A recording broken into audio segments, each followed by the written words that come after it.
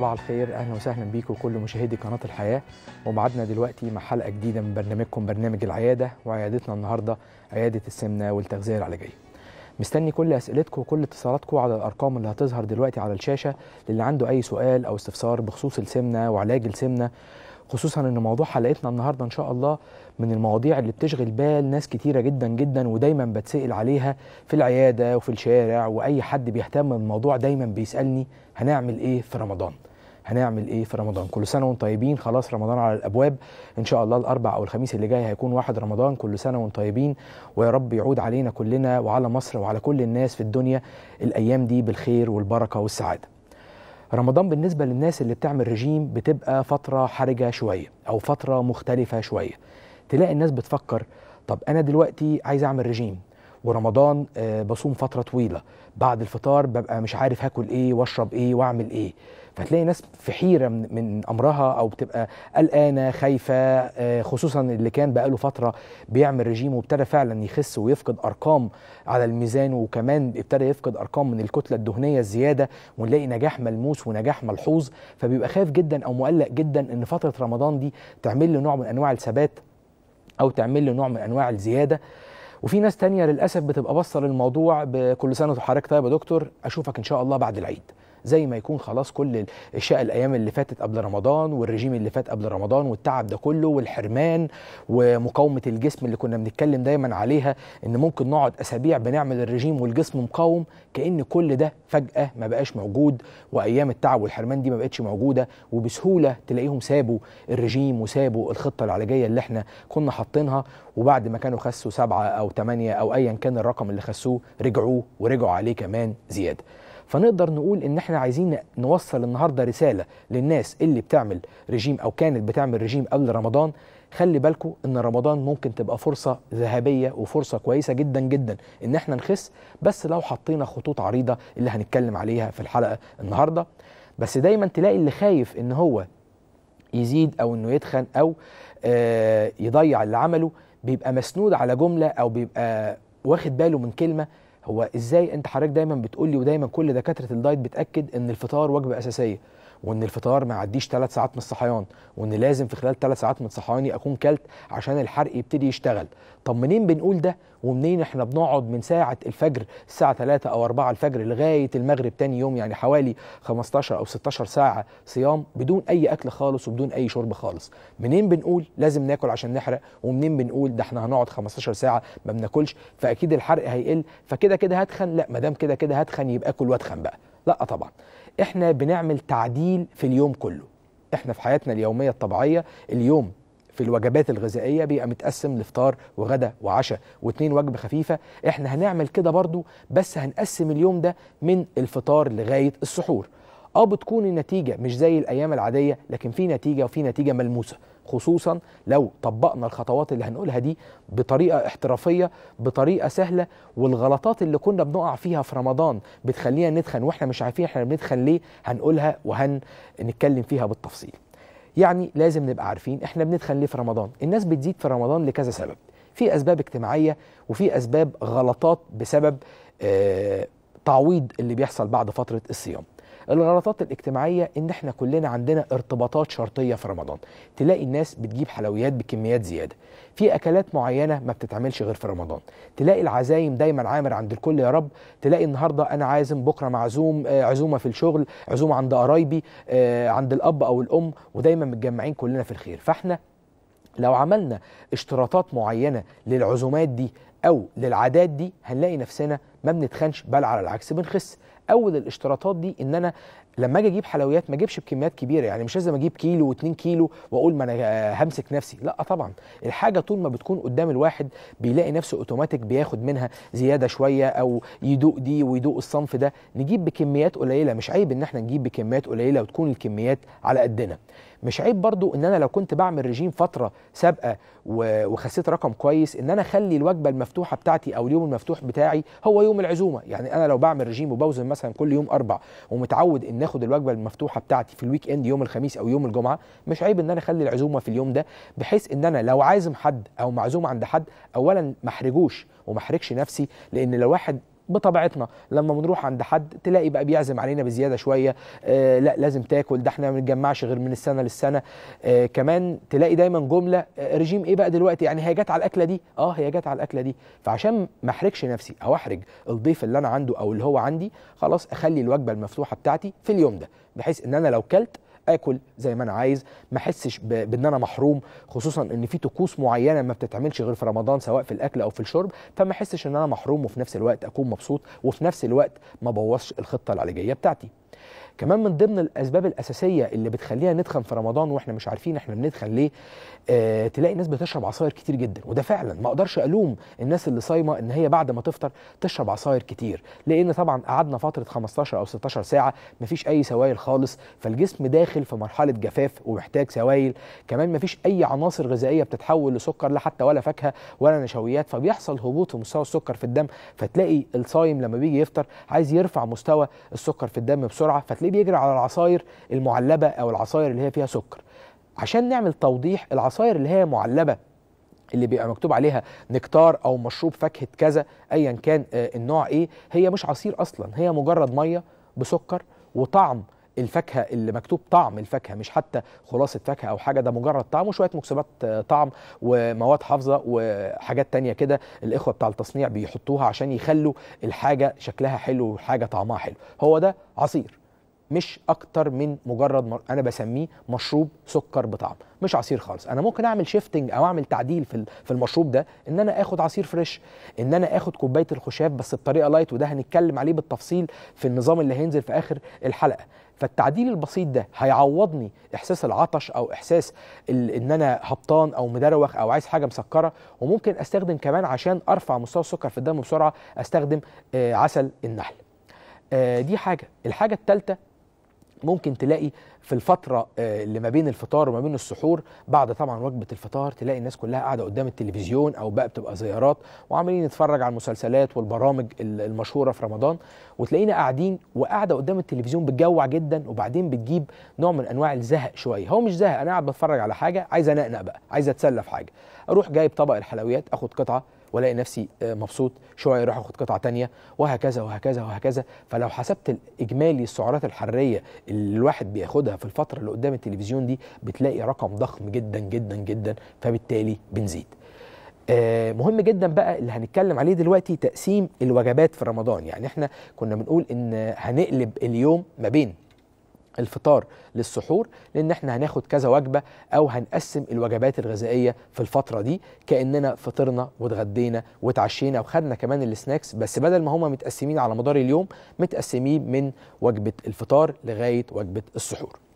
نقدر إن نقسم المراحل دي لخمس مراحل. المرحلة الأولى اللي هي مرحلة رفع السكر في الدم بسرعة أو عايزين نجنب نفسنا من الهبوط اللي حاصل. بمجرد ما المغرب يأذن نكسر الصيام على ثلاث تمرات أو ثلاث بلحات.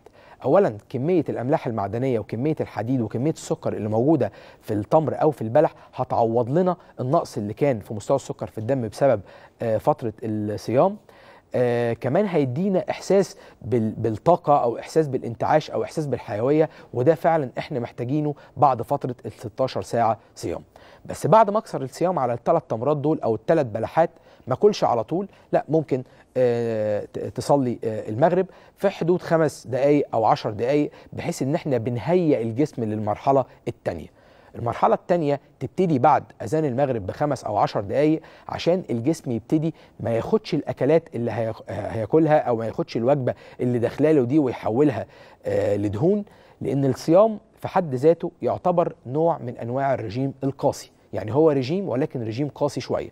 وزي ما كنا اتكلمنا في حلقات سابقة إن الرجيم القاسي على قد آه ما هو بيجيب آه معدلات في نزول الوزن وبيخلي الجسم ينزل آه لكن بيدخل الجسم في حالة أو بيدخل الجسم في حاجة اسمها ال starvation mode أو mode المجاعة أو يتقال عليها ببساطة ميكانيكية التخزين والتقنين. تخزين وتقنين. تقنين يعني بيقلل من معدلات الاستهلاك أو من معدلات الحرق بيقنن واحد بيوفر أو بيحوش لأن كمية الأكل اللي داخلاله قليلة. لا ده مش كمية الأكل اللي داخلاله قليلة بس لا ده 16 ساعة ما بياكلش خالص. فعايز يخزن جدا الأكل اللي داخل وعايز يقنن كمان في استهلاكه. فحتى لو الواحد بياكل قليل لكن لو ما كلش بالتقسيمة اللي هنقولها هتلاقي الأكل ده اوتوماتيك بيتحول لدهون لأن معدل الحرق بيقل. كنا قلنا المرحلة الأولى اللي هي كسر الصيام على الثلاث تمرات. المرحلة الثانية اللي هي بقى طبق الشوربة الدافية. ولازم تبقى شوربة دافية عشان تبتدي تهيئ الجهاز الهضمي أو تبتدي تهيئ المعدة إن هي هتستقبل وجبات. يبقى ثلاث تمرات وبعد كده طبق شوربة دافية. ولكن أنهي نوع من أنواع الشوربة هو ده اللي هيفيدنا عشان ننقص وزننا ونحافظ على الوزن اللي خسرناه في الفترة اللي فاتت. بنفضل أكتر الشوربة ال light أو الشوربة ال diet يعني ممكن تبقى شوربة فراخ مسلوقة أو لحمة مسلوقة لكن تكون مبيتة يوم في الثلاجه عشان بيتكون عليها طبقه دهون أقدر أشيلها بالمعلقة فاستخدم الشوربة دي بكمية زيادة أو بالصورة اللي أنا عايزها وممكن أعصر عليها نص ليمونة عشان تحلي الطعم بتاعها. كمان ممكن أستخدم الشوربة دي في عمل لسان عصفور برضه بطريقة دايت. هناخد التليفون ده وهنكمل بقية المراحل بتاعتنا عشان الصيام. أستاذة علا أهلا بيكي. أيوه السلام عليكم دكتور. السلام ورحمة الله وبركاته. أهلا وسهلا. آه أنا أنا ابني عنده سنة بالظبط. ربنا يحافظ عليه. أك- الله يخليك. حصل إن أنا أكلته بصارة. بصارة. فجاله أنيميا أنيميا تكسيرية. أنيميا الفول يعني؟ أنيميا الفول. لا، بس هو دي أنيميا تكسيرية يعني كل الدم نزل عن طريق البول. آه. واتحجزت بيه أسبوع. تمام. أنا مش عارفة أكله إيه. عسل أبيض عسل أسود إيه يرفع ال أو إيه يوقف التكسير؟ طيب. وإيه كمان يعني يعزز لأن هو الدكتور قال لي ملوش أي أدوية. آه عشان سنة صغير دم لأنه لقى الدم مرتين. ونقل وخدت جلوكوز. وقال لي كتر الجلوكوز غلط وكتر الدم غلط لأن حصل له تضخم في الكبد وتضخم في لا البنكرياس ال الكلام ده مدام علا ما ينفعش يتقال كده آه، كلام مرسل وخلاص. لا لازم نوديه لدكتور. في المستشفى. هو ما زال في المستشفى؟ لا أنا خرجت تمام رب ربنا يطمنك. عليه ربنا يطمنك عليه. لا حضرتك لازم هل نروح آه لازم نروح اتفضلي. العسل الأبيض ده غلط والعسل الأسود غلط على سن السنة؟ أنا تمام كشفت عند استشاري وكل حاجة بس الصراحة أنا كنت من الصدمة اللي حصلت مش فاكرة أي حاجة وهو ما كتبش في الروجيتا طريقة العلاج. مش تمام. فاكرة اللي حصل. طيب أرد على حضرتك حالا. طبعا مدام علا زي ما كنت بقول لك ال ال الكلام في في ال- في الموضوع ده ما ينفعش يتقال كلام على الهواء أو هو مجرد آه وصفات وخلاص. لكن سؤالك المحدد بتاع العسل الأبيض أو العسل الأسود لا انت ممكن تستخدمي له العسل الأبيض. ما يفضلش العسل الأسود كتير عشان خاطر نسبة السكر فيه عالي العالية. تقدري تدي له معلقتين عسل أبيض كل يوم ممكن واحدة على الريق وواحدة في نص اليوم. لكن عشان تبتدي تعالجي بقى الأنيميا التكسيرية عن آه، الأنيميا التكسيرية عن طريق التغذية طبعا هنحتاج بعض الأدوية ودي اللي هيحددها استشاري الأطفال مع نعمل نظام تغذية مخصوص يكون ملائم لفترة أو لفترة لسن آه، سنة. فيا ريت تروحي لأقرب دكتور تغذية جنبك عشان يحدد لك النظام الم- المتوازن المناسب للحالة دي ويكون بالتعاون مع دكتور الأطفال عشان ندي التغذية وندي عناصر الأدوية المهمة. لأن كلمه أنيميا تكسيرية دي كلمة مطاطة قوي. هل أنيميا فول؟ فما وده ظهر لما كل آه، البصارة أو كل بقوليات فظهر له موضوع أنيميا الفول. ولا هل أنيميا نقص الحديد؟ ولا هل أنيميا نقص الهيموجلوبين ولا ولا ولا ولا؟ يعني في أنواع مختلفة كتيرة من الأنيميا فنظام التغذية لكل حالة بيختلف حسب الحالة نفسها خصوصا آه، إن السن صغير جدا سن سنة فمحتاج يكون تعامل آه، بحذر شوية. آه، هنطلع فاصل وهنرجع نتكلم عن أصول التغذية في رمضان وإزاي نحافظ على الرجيم بتاعنا. انتظرونا بعد الفاصل.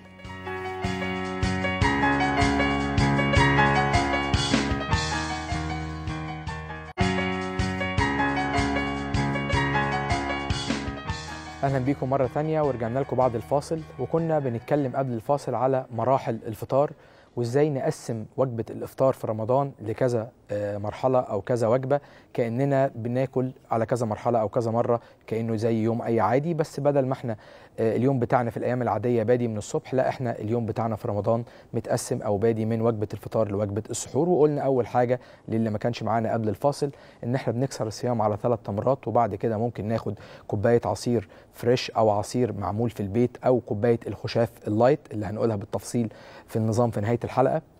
آه كمان بعد كده المرحلة الثانية إن إحنا ناخد طبق شوربة معمولة بطريقة diet وممكن نستخدم إن إحنا نعمل الشوفان أو لسان العصفور ممكن نحمره بنص معلقة زيت أو بمعلقة زيت واحدة في آه الحلة ونستخدم الشوربة بحيث إن الشوربة الدافية دي تبتدي تهدي جدار المعدة والجهاز الهضمي يبتدي يستعد أو يبتدي يتهيأ إنه هيستقبل وجبة أساسية. نقدر نقول إن ما بين المرحلة الأولى والمرحلة الثانية خمس دقائق أو عشر دقائق عايزين برضو ما بين المرحلة الثانية أو المرحلة الثالثه برضو يبقى حوالي خمس دقائق. ده هيفيدنا في جزئيتين. الجزئية الأولى عشان هرمون الشبع يبتدي يفرز لأن عملية الشبع بتحصل على الأقل في 20 دقيقة. فلو أنا كلت الوجبة بتاعتي في مدة ال 20 دقيقة أو أكتر هشبع بدري فبالتالي هاكل أقل. خصوصا لو ده يوم مفتوح أو هاكل وجبة مفتوحة أو أول يوم رمضان مثلا فالعيلة كلها متجمعة وهاكل زي ما أنا عايز. فلو كلت بالتقسيمة دي هاكل الأصناف اللي أنا عايزها بس هاكل قليل فبالتالي مش هزيد في الوزن أو مش هتخن. المرحلة الثالثة اللي بتبتدي برضو بعد خمس دقايق من طبق الشوربة بيفضل طبق الخضار أو طبق السلطة وده ممكن يتعمل بكذا طريقة. ممكن الخضار يكون مشوي في الفرن ممكن يكون معمول سوتيه ممكن يكون معمول على الجريل.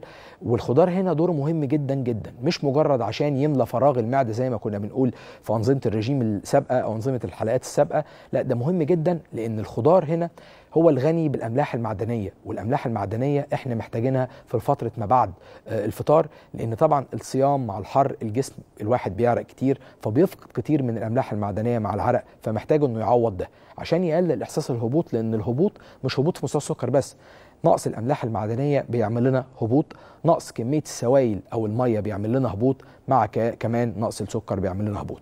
فإحنا السكر حليناه بالتمر آه نقص الأملاح المعدنية هنحله بطبق الخضار وممكن يتعمل بأي طريقة. كل واحد زي ما هو عايز ممكن يعمله طاجن في الفرن أو مشوي زي ما قلنا. بس المهم يبقى فيه كمية خضار كافية وكمية ألياف كافية موجودة في الخضار عشان برضو ما يحصلناش إمساك نتيجة فترة الصيام الطويلة. المرحلة الرابعة اللي هي بتكون الطبق الرئيسي أو الوجبة الأساسية. برضو تبتدي بخمس دقايق من بعد طبق الخضار. يعني لو إحنا قاعدين متجمعين على السفرة وما بين كل مرحلة ومرحلة مش هقوم وأقعد. يعني لا أنا هقعد دقيقتين كأني ما باكلش أو ما بعملش حاجة. هيبتدي الجسم يتهيأ ويلغي تماما ميكانيكية التخزين والتقنين اللي كنا قلناها قبل الفاصل. لأن إلغاء الميكانيكية دي هو اللي هيضمن لنا إن تقسيمة الوجبات أو الوجبة اللي إحنا بناكلها لما تتقسم الجسم هيبتدي يستهلكها الجسم هيبتدي يحرقها الجسم نسي كأنه صايم فيبتدي ينزل في الوزن وعلى الأقل لو ما قدرناش ننزل بالأرقام الكبيرة يبقى زي ما دخلنا من رمضان نطلع منه فما نلاقيش نفسنا زدنا في الزيادة في الوزن أو ضيعنا جزء من اللي إحنا كنا خسيناه. المرحلة الرابعة اللي هي مرحلة الطبق الرئيسي اللي هي بتكون متكونة من حاجتين طبق أو صنف نشويات مركبة ممكن يبقى رز ممكن يبقى مكرونة ممكن يبقى بطاطس وممكن يكون نستخدم هنا الرز البني أو المكرونة البني. لأن كمية النشويات اللي فيهم هي نشويات مركبة أكتر كمان إحساس الشبع بيحصل بسببهم بيكون مدة طويلة. كمان ممكن نستخدم صنف بروتين وده هيبقى مشروح بالتفصيل في النظام آخر الحلقة. إحنا بس بندي التقسيمة. صنف البروتين سواء لحمة أو فراخ أو سمك ولو إن ناس كتيرة ما بتفضلش أكل السمك في رمضان عشان إحساس العطش اللي بيحصل زيادة ولكن نحاول مرة أو مرتين طول الشهر يكون في أسماك عشان الأوميجا 3 اللي بيكون مفيد لينا جدا جدا عشان نشاط الدماغ أو زيادة التركيز وتقليل الكوليسترول. وأعتقد إن إحنا هنكون محتاجين نشاط الدماغ وزيادة التركيز بصورة أكتر عشان فترة الصيام اللي بتكون لو الواحد بيشتغل أو لسه ما خلصش امتحانات أو في الحياة اليومية الناس تقدر تشتغل بصورة أفضل أو تشتغل بكفاءة أفضل. عايزين بقى المرحلة دي لو قدرنا لو قدرنا إن المرحلة الرابعة تكون بعد ساعة أو ساعتين من الثلاث مراحل قبل كده والناس هنا مقسومة نصين في جزء من الناس يقول لك أنا بس بمجرد ما المغرب يأذن الثلاث تمرات وكوباية العصير وطبق الشوربة وأكون قفلت على كده مش قادر آكل ممكن بعدها بساعتين أبتدي آكل. ودي هنا ميزة كويسة جدا جدا. بالعكس دي هتساعدنا إن جزئية التخزين والتقنين دي كأنها ما بقتش موجودة بقى خالص. لأن إحنا كأننا فطرنا وبعد كده خدنا السناك والوجبة الأساسية أو اللي هو الطبق الرئيسي بعد ساعتين من وجبة الفطار أو اللي هو كسر الصيام. فبالتالي الجسم هيتنشط في الحرق كويس جدا جدا. وفي نص تاني من الناس ما بيقدرش بيبقى خلاص جعان جدا وعايز ياكل وما بيكفيهوش طبق السلطة أو الخضار أو التمر أو التقسيمة اللي قلناها فبيبقى عايز ياكل الوجبة الأساسية على طول.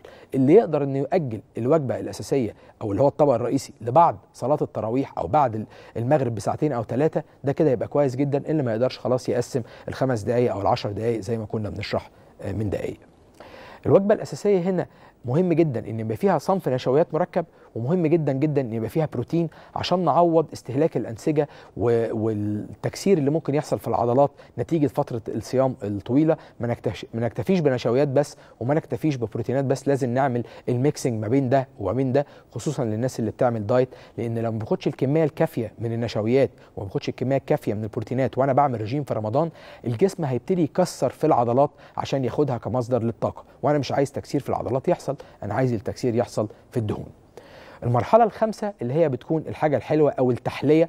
وزي ما كنا بنقول في بداية الحلقة في حاجات معينة ما بتتجابش غير في رمضان زي القطايف زي الكنافة والبسبوسة الطلب عليها بيزيد أو إحنا اتعودنا إن إحنا ناكلها زيادة في رمضان. دي يا ريت تكون بعد الوجبة أو الطبق الرئيسي سواء خدناه بعد تلت ساعة من المغرب زي ما قلنا التقسيمه أو بعد ساعتين من المغرب ناخدها بعدها بساعة أو ساعتين عشان ما يزيدش عندنا إحساس عسر الهضم أو إحساس التخمة اللي بيحصل بسبب إن أنا لو أكلت حاجة حلوة بعد الأكل على طول لأنه بيحصل تخمر للأكل في المعدة فبالتالي بيحصل عسر هضم وممكن للناس اللي عندها مشاكل في القولون أو مشاكل في المعدة الموضوع يتطور ويدخل في مشكلة آه، أكبر. فنحاول نفصل حتى لو هاكل ثمرة فاكهة أو هاخد آه، فواكه مجففة مثلا زي المشمشية وزي القراصية لا تكون بعد الوجبة الأساسية بساعتين على الأقل.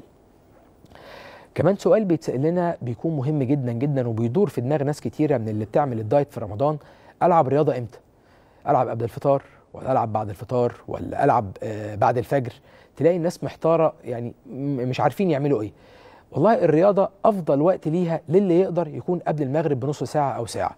لكن مثلا لو واحد مريض سكر أو حد كبير في السن أو واحد صحته يا دوب بيصوم بالعافية أو بيصوم على قده مش قادر يعمل أي مجهود آه، أو سنه آه، كبير شوية مش قادر يعمل مجهود قبل الفطار لا نخلي الرياضة بعد الفطار. وهنشرح ده فوائده إيه وده فوائده إيه واللي يقدر يعمل ميكس ما بين الاثنين حتى لو مدة قليلة هنا ومدة قليلة هنا ده بيكون أفضل حاجة.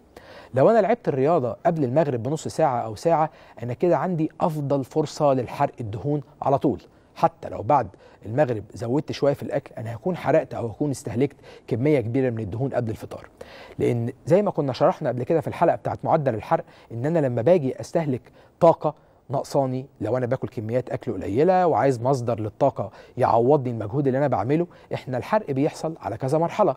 المرحلة الأولى السكر أو الجلوكوز اللي موجود في الدم. المرحلة الثانية الجلايكوجين اللي موجود في الكبد، المرحلة الثالثة اللي هي الدهون المتخزنة تحت الجلد.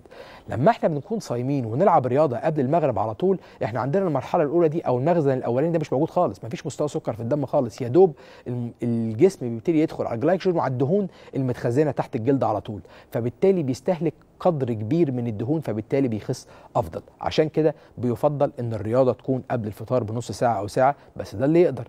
طب لو أنا ما أقدرش أو ما عنديش وقت أو يا دوب شغلي بخلص آه، قبل المغرب على طول فبروح عقبال ما أريح شوية وبعد كده آه، يبقى وجبة الفطار. يبقى أنا ألعب الرياضة هنا بعد الفطار بساعتين. وفي الحالة دي هتدينا برضو نتيجة كويسة في رفع معدل الحرق. آه مش زي ما يكون قبل الفطار ولكن هيبقى مهم جدا انها تبقى بعد ساعتين أو ثلاثة من الوجبة الأساسية أو وجبة الفطار حسب أنا خدتها إمتى. ده هيقلل معايا من الإحساس بالتخمة أو إحساس بالإرهاق وهيزود معانا تصريف السعرات الحرارية اللي هتكون دخلت لنا في فترة المغرب أو في فترة الفطار. فاللي يقدر يقسم الرياضة عندنا ربع ساعة هنا وربع ساعة هنا أو عشر دقايق هنا وعشر دقايق هنا قبل أو بعد الفطار والله كل واحد على حسب مقدرته. إن شاء الله نلاقي حاجة كويسة ونتيجة كويسة. كمان من ضمن الأسئلة اللي كتير بنقابلها أو كتير بنشوفها وبنتسألها الحلويات. إيه الحلويات اللي أكلها في رمضان؟ وآكل منها قد إيه؟ وإيه الكميات أو الأصناف اللي أقدر أزود منها؟ لأن إحساس الحاجة الحلوة أو الاحتياج لحاجة مسكرة بيزيد شوية في فترة رمضان أو بيزيد شوية آه، في الفترة ما بعد الصيام. وده طبعا ليه سببين في سبب علمي وفي ارتباط شرطي. الارتباط الشرطي اللي هو أنا اتعودت إن أنا كل سنة بروح محل معين بجيب نوع معين من الحلويات كل سنة في رمضان. دي عادة هتلاقي حتى دايما مثلا آه، تلاقي لو مثلا لسه أب جديد أو لسه آه، متجوز جديد يقول لك أنا كان والدي بياخدني بنجيب من المحل ده فأنا كمان عايز أعمل كده. أو ده أنا في محل معين متعود منه أجيب حاجة كل سنة باكلها في رمضان بس. فأوتوماتيك بتلاقينا بنجري على الحاجة دي أو بنجيب الحاجة دي. ده رقم واحد. رقم اتنين السبب الفسيولوجي أو الاحتياج الفسيولوجي. طبعا كمية السكريات اللي بتدخل أو كمية الأكلات اللي بتتحول لسكر في فترة المغرب لغاية السحور ما بتكونش زي الأيام العادية اللي ما بتكون فطار وغدا وعشاء واثنين سناكس. إقبالنا على الفاكهة بيكون أقل شوية فالجسم بيحتاج سكر أكتر. بالإضافة إن أنا صايم فترة طويلة ما بفيش أي سكر في دمي فبلاقي نفسي عايز آخد حاجة مسكرة أو آخد حاجة حلوة. هنا بنحدد الحلويات لكذا مرحلة أو كذا حاجة. للناس اللي بتعمل رجيم طبعا ده كلامي كله متوجه أو الناس اللي كانت بتخس قبل رمضان ومش عايزة آه، تتخن وعايزة تحافظ على وزنها. أنا أقدر آخد حلويات اللي هي العادية البسبوسة الكنافة القطايف بس تبقى بحساب مرتين أو ثلاثة في الأسبوع ويفضل إن هي تكون يوم بعد يوم. يعني مش هاخد مثلا ثلاث أيام ورا بعض وبقية الأسبوع ما آخدش لأن ممكن ما أقدرش أصمد لنهاية الأسبوع. فأنا باخد يوم آه ويوم لأ. وحجم الحلويات نفسه بيفرق. أنا مش إن أنا زي ما كنت بقول في بداية الحلقة مش اللي هو أجيب طبق وأقول ما أنا هاخد بقى ثلاث مرات آكل زي ما أنا عايز لا بنحددها بحجم الأربع صوابع. يبقى قطعة قد الأربع صوابع يبقى اسمنا كلنا الحاجة اللي بنحبها كلنا حاجة تدينا تعويض عن نقص السكر وفي نفس الوقت ما عملتلناش زيادة في الوزن أو ما سببتلناش سمنة أو على الأقل ما خسرناش اللي كنا حققناه في فترة ما قبل رمضان. كمان في بعض الأصناف نقدر ممكن ناخد منها شوية زيادة تدينا برضو إحساس بالحاجة المسكرة أو بالحاجة الحلوة وفي نفس الوقت ما تعملناش سمنة ده بل على العكس هتفيدنا لو إحنا عايزين ننقص وزننا. زي ما كنت بقول في ناس كتيرة بتنسى الفاكهة أو بتبقى مكسلة إن هي تمسك تفاحة تاكلها أو آه، آه، ثمرة موز مثلا تاكلها. لا إحنا ممكن نعمل فروت سلطات بطريقة لطيفة جدا إن إحنا نقطع خمس أو ست قطع كنتالوب مع نص تفاحة مع نص موزة مع اتنين فراولة مع حبيتين أناناس وممكن نحليهم بمعلقة عسل. ده لو أنا خدته بعد الفطار بساعتين إداني إحساس الحاجة المسكرة اللي أنا محتاجه بس هنا محتاج إن الشخص نفسه أو المريض نفسه يكون قاعد مع نفسه قبل رمضان ومستعد نفسيا أو يهيئ نفسه نفسيا للجزئية دي لأن دي محتاجة تعديل في السلوك وتأهيل في السلوك مش مجرد آه إنه يلتزم بيها وخلاص لازم يبقى مقتنع إن اللي بيعمله ده هيقلل معاه. من احتياجه للمواد السكرية أو للسكريات اللي بيعمله ده هيديله إحساس بالشبع لفترة طويلة اللي بيعمله ده هيخليه يحافظ على اللي كان حققه قبل رمضان وفي نفس الوقت ما يضيعش مجهوده اللي اتعمل بل على العكس يستفيد من فترة الصيام دي إنه يكمل رجيم ويكمل خسسان. دي جزئية. كمان ممكن أستخدم الرز بلبن بالطريقة ال diet أو بالطريقة ال light. الرز بلبن بيتعمل من نشا ورز ولبن وسكر. أنا ممكن أستغنى عن النشا أو أحط نص معلقة صغيرة أو حاجة صغيرة جدا. واللبن ممكن يتعمل لبن خالي الدسم. السكر ممكن نستخدم بدائل سكر خالية من الأسبرتام زي مادة السكرالوز ايا كان اسمها في الأسواق إيه. فيبقى أنا كده السكر عملت له تعديل بقى سكر diet أو سكر بدون سعرات حرارية. اللبن بقى لبن خليط دسم. النشا ما بقاش موجود أو خدت منه كميات قليلة. ولو طبق رز بلبن هتلاقي كمية الرز اللي فيه لا تتعدى النص معلقة مجروشة. فيبقى برضه كلت حاجة طعمها حلو حاجة مرطبة لو موجودة في الثلاجه هتديني إحساس بالترطيب وإحساس بإن الواحد آه خد حاجة طعمها جميل وفي نفس الوقت ما بوظتش الرجيم أو النظام اللي أنا عامله. كمان ممكن نستخدم الجيلي بالفواكه. بس طبعا مش أي كمية من الجيلي هي كاسة واحدة متوسط السعرات الحرارية اللي فيها بيكون حوالي 60 سعر حراري وممكن أقطع عليها قطع تفاح أو قطع موز برضو عشان يبقى حجم الكاس أو حجم الطبق نفسه كبير. فيديني إحساس إن أنا أكلت برضو حاجة حلوة وحاجة مسكرة وفي نفس الوقت ما بوظتش الرجيم اللي أنا عامله. آه كمان من الجزئيات المهمة غير الرياضة وغير الحلويات وغير تقسيم آه الوجبات المشروبات والعصاير. كنا قلنا في بداية الحلقة ناس كتيرة آه بتقول لك ما تدينيش أكل بس اديني عصاير بقى. أنا أفضل أشرب في عصاير ما فيش أي مشكلة خالص. ده أنا بشرب وتلاقي ناس بتتباهى بقى. ده أنا وقت المغرب بشرب شفشقين آه آه عصير مانجا. ده أنا وقت المغرب ممكن أشرب شفشقين مش عارف عصير إيه. طبعا ده مش مظبوط خصوصا للناس اللي مهتمة أو إن هي عايزة تخس. لا إحنا هنشرب عصاير بس هنعمل لها تعديل أو هنشرب سوائل وهنعمل لها تعديل. إحنا كنا حددنا وقلنا إن إحنا ممكن نشرب كوباية عصير معمولة بطريقة فريش أو معصورة في البيت. كمان ممكن نستخدم بقى المشروبات الرمضانية اللي غالبا بننساها طول السنة وما بنفتكرهاش غير في رمضان بس بس برضو ليها خطوط أو ليها أساسيات معينة لازم نلتزم بيها. آه المشروبات دي هنقولها بالتفصيل بس استنونا بعد الفاصل. هنتكلم عن المشروبات وفوائدها وإزاي نستخدمها في رمضان. انتظرونا بعد الفاصل.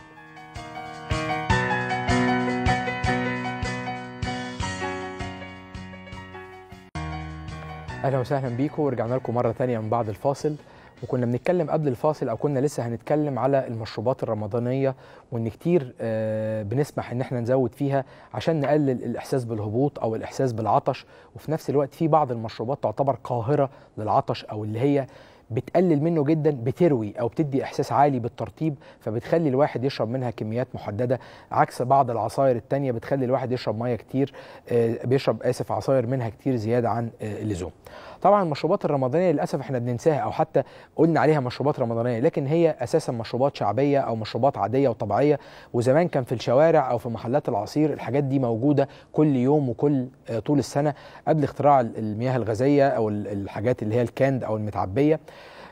رغم إن المشروبات دي مش بس بتقلل لنا إحساس ال- العطش أو بتدينا نوع من أنواع الترطيب لا ده كمان كمية السكر اللي فيها بتكون محددة وبعض الأصناف ما بيتضافلهاش سكر خالص وكمان ليها فوائد غذائية مش بس عشان الناس اللي بتعمل رجيم أو بتهتم بالرجيم. أول حاجة العرقسوس المشروب الشعبي الأشهر اللي كان بيتباع في الشوارع طول السنين اللي فاتت وفجأة اختفى بيطلع في رمضان ويختفي بعد رمضان. ميزة العرقسوس أو اللي هو اسمه الجذر الحلو هو مجرد نبات عشبي طعمه مسكر طعمه حلو. ولكن السكر اللي فيه يختلف عن السكريات البسيطة اللي موجودة في السكر اللي بندوبه في الشاي أو في القهوة أو في المشروبات. هناخد تليفون أم ياسين وهنكمل المشروبات الرمضانية. أم ياسين أهلا بيكي. أهلا بحضرتك. اتفضلي يا فندم. بس أنا أنا عندي معايا توينز وبرضع وعندهم ست شهور. كنت عايزة أعرف إزاي أصوم يعني أزود الرضاعه أنا ما بياخدوش حاجة ابتدأت لسه ببتدي أكل دلوقتي بس حاجات بسيطة. تمام. يعني حضرتك شغالين بتستخدمي لبن صناعي مع اللبن لا الطبيعي لا ولا لا رضاعة آه، طبيعية. رضاعة لأن- طبيعية. يعني كانوا بياخدوا صناعي وقطعوه. تمام. قطعوه واعتمدوا على ال- على- الطبيعي آه، والحمد على لله بيشبعوا الطبيعي آه. تمام. وزن حضرتك قد إيه يا أم ياسين نعم؟ وزن حضرتك قد إيه؟ لا يعني أنا كنت قبل الولادة كنت 110 دلوقتي بقيت 90 90 بمجرد أكشن الولادة ولا ابتدينا نعمل نظام رجيم في الفترة اللي بعد لا الولاده مجرد بس يعني الولادة. تمام. في أسئلة تانية عند حضرتك؟ إيه؟ في أسئلة تانية عند حضرتك؟ بس كنت عايزة أعرف بس لما اصوم إزاي اعوض الموضوع ده إن أنا في لبن حاضر. طول الوقت يعني؟ حاضر تحت أمر حضرتك. آه طبعا يا ام ياسين ربنا يخليهم لك. وكل سنة وحضرتك طيبة. انت ممكن تصومي مفيش أي مشكلة بس هنزود شوية في المشروبات الرمضانية اللي إحنا هنقول عليها دي خصوصا لو ضغط الضغط عندك منتظم آه لا بيعلى ولا بيوطى فنقدر نشرب كوبايتين عرقسوس كل يوم نقدر نشرب كوبايتين كركديه كل يوم نقدر نشرب كوباية قمر الدين. يعني مشروبات هتدينا نوع من أنواع الترطيب وكمان زي ما كنا قلنا في حلقة الرضاعة قبل كده إن المشروبات ال- ال- أو السوائل هي اللي مطلوب مطلوبة أكتر عشان خاطر اللي بترضع تبتدي تنزل في الوزن. كمان لازم تاخدي كوبايتين لبن كل يوم ممكن تقسميهم بقى بعد الفطار بشوية قبل السحور ممكن تقسميهم على مدار اليوم بس يبقى هنا لبن صافي مش محطوط عليه لا شاي ولا قهوة ولا أي مشروبات تانية عشان تستفيدي بكمية العناصر الغذائية اللي موجودة فيه. كمان لازم ليكي أو لأي حد بيسمعنا في فترة آه، رمضان للصيام أو للصحة عموما لازم ما ننساش المية لأن إحنا ممكن نلجأ للعصاير أو المشروبات الرمضانية وننسى المية وإحنا محتاجين المية في صورة المية نفسها من 8 ل 10 كوبايات مية كل يوم ونقسمهم على الفترة اللي ما بين الفطار والسحور. وممكن النظام اللي هينزل في آخر الحلقة أو خلاص قرب ينزل تقدري تتبعيه معانا. هتنقصي وزنك والرضاعة مش هتتأثر بل بالعكس هتكون أفضل بإذن الله. آه طيب إحنا هناخد الرجيم دلوقتي وهنرجع نكمل المشروبات الرمضانية. كله يحضر ورقة وقلم بسرعة. الرجيم هيكون معانا على الشاشة حالا. آه النظام بتاعنا طبعا دايما مبني بطريقة الهرم الغذائي. وده مناسب لوزن من 90 ل 110 كيلو. أنا موسع الرينج شوية وده معمول بطريقة الفطار والسحور عشان رمضان كل سنة وأنتم طيبين. الجزئية الأولانية في الفطار مع سماع أذان المغرب ناخد عدد 3 تمر أو اللي هو البلح. في ناس بتاخده كده في ناس بتبله في مية في ناس بتحطه في لبن. كل واحد زي ما هو عايز. بس طبعا للناس اللي بتعمل رجيم لازم يكون اللبن خالي الدسم أو على الأقل نص دسم. ولو ما كناش هناخد سكر أو عسل على كوباية الخشاف ال light ممكن نحليه بيها كل واحد زي ما يحب. آه بعد الفطار آه لو بعد ما خدنا الثلاث تمرات بناخد كوباية الخشاف ال light ومكتوب طريقتها. 8 حبات يميش أو مكسرات وطبعا مش 8 حبات من كل نوع. 8 حبات متوزعين ما بين المشمشية القراصيه العين الجمل الزبيب اللوز كل واحد زي ما يحب. معاهم كوباية لبن خالي الدسم ومعاهم معلقة عسل نحل. واللي مش بيحب العسل ممكن ياخد معلقة سكر أو معلقتين من إجمالي السكر بتاعنا اللي كنا حددناه قبل كده بثلاث معالق في اليوم. ممكن ناخد بدل ده لو أنا حبيت أغير أو ما بحبش الخشاف. ممكن آخد كوباية عصير فواكه فريش عصير جوافة عصير تفاح. ممكن مرتين في الأسبوع عصير مانجا بالسكر المسموح اللي هو 3 معالق. زي ما قلنا بعدها بعشر دقايق زي ما كنا شرحنا في المراحل هناخد آه الخمس معالق شوربة لسان عصفور أو شوربة شوفان أو شوربة خضار للي عايز يغير. معاهم طبق خضار مش مشكلة مشوية أو سوتيه أو ممكن نعملها في الفرن. زائد أربع قطع سمبوسك أو قطعة مكرونة بشاميل بالطريقة اللايت إن إحنا نستخدم اللبن خالي الدسم وبزيت قليل ومعلقة أو معلقتين بس دقيق. ونحدد حجم القطعة دي حجم الخمس صوابع يعني يعتبر قد آه، الكف أو أصغر شوية. واللي مش عايز ده أو ده أو عايز يغير ممكن ياخد 8 صوابع محشي مطبوخين ني في ني أو 8 معالق رز أو مكرونة وزي ما قلنا الأفضلية للرز أو المكرونة البني. ممكن بعد كده ناخد الثلاث قطع فراخ فيليه اللي هي الفراخ البانيه بس بدل ما هي متحمرة نعملها نقطعها فاهيتا معاها فلفل ألوان ونحط عليها توابل ممكن نشويها على الجريل ممكن نحطها في الفرن أو قطعتين لحم أحمر وممكن نستخدم اللحم اللي هو بيتعمل بيه البفتيك برضو يتعمل على الجريل كنوع من أنواع التغيير تغيير أو آه، أربع صوابع كفتة مشوية ويفضل إن الكفتة تكون معمولة في البيت عشان تكون ضامنين إن اللحمة المفرومة لحمة حمراء. بعد الفطار بساعتين على الأقل ناخد قطعة حلويات حجم الأربع صوابع مرتين في الأسبوع أو ثلاث قطع بطيخ أو اتنين ثمره فاكهة أو طبق رز باللبن diet أو كأس جيلي زي ما شرحنا. عندنا السحور 8 معالق فول بزيت الزيتون معاهم كوباية زبادي أو خمس معالق جبنة قريش. واللي مش عايز جبنة قريش ممكن يستخدم الفيتا light. واللي مش عايز ده أو ده ممكن يستخدم بيضة مسلوقة. زائد نص رغيف بلدي أو رغيف سن. معاهم ترانشات خيار خس فلفل رومي كابوتشا. وممكن نستخدم سلطة الزبادي وسلطة الكول سلو بالطريقة ال diet اللي كنا قلناها في حلقة الصيف. عندنا ملاحظات. لازم نشرب من 8 ل 10 كوبايات مية كل يوم في الفترة ما بين الفطار والسحور. المشي نص ساعة. وممكن هنا نقسمه ربع ساعة قبل الفطار وربع ساعة بعد الفطار بساعتين. وعندنا لو حسينا إن إحنا جعانين بين الفطار والسحور ممكن نشرب واحدة لبن رايب أو اتنين زبادي وده كمان هيفرق معانا إنه يريح الجهاز الهضمي ويعمل ترطيب للجهاز الهضمي عشان حجم الوجبات بيبقى كبير على المدة الزمنية. ولو حسينا إن إحنا عطشانين ممكن نشرب عرقسوس كركديه خروب دوم تمر هندي بالسكر الدايت وكل سنة وأنتم طيبين. آه كنا كنا بنقول قبل النظام الغذائي المشروبات الرمضانية وكنا بنشرح العرقسوس بس العرقسوس لازم مرضى الضغط العالي أو المرضى اللي عندهم مشاكل في القلب بالكتير ياخدوا كوباية كل يوم أو كل يومين ولازم يقيسوا الضغط بانتظام لأن في ناس بتبقى حساسة جدا. هو طبعا العرقسوس من ال- المشروبات اللي ممكن تعمل لنا ارتفاع في الضغط بس في ناس ممكن تبقى حساسة حتى الكوباية الواحدة ترفع معاها الضغط مع إن كمان فترة الصيام مدة طويلة وأنا مش باخد كميات كافية من المية في ما بين ال- الوقت اللي ما بين الفطار وما بين السحور فممكن الضغط يعلى معايا أو السوائل آه، تتحبس. عشان كده تلاقي كتير من مرضى الضغط بيورموا فترة الصيام. فنخلي بالنا إن العرقسوس مرة واحدة بس في اليوم لمرضى الضغط أو مرة كل يومين حسب الحالة لكن لو أنا ما بشتكيش إن الضغط بتاعي بيعلى ممكن أشرب مرتين أو ثلاثة ميزة كمان العرقسوس غير إن هو مرطب وقاهر للعطش كمان ميزته إن تركيبته الكيميائية نسبة النشويات اللي فيه أو الكربوهيدرات اللي فيه بتكون مختلفة في التركيب عن السكر العادي فما بيرفعش عندنا مستوى السكر في الدم بسرعة فبالتالي ما يخليش الجسم يفرز كمية زيادة من الإنسولين فبالتالي ما يعمل لناش سمنة فنقدر نشربه مرتين آه، أو ثلاثة في اليوم ومش محتاج إنه يضاف له سكر لأن هو طعمه مقبول ومسكر. كمان المشروبات الرمضانية الشهيرة جدا جدا الكركديه.